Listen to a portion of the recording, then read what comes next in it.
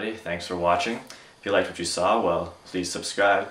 And if you have any comments or suggestions for a song you'd like me to cover, just leave something down in the uh, comment section below there. And I'm also on Facebook, so you can follow me there. And I should have some new videos up soon. So, thanks again.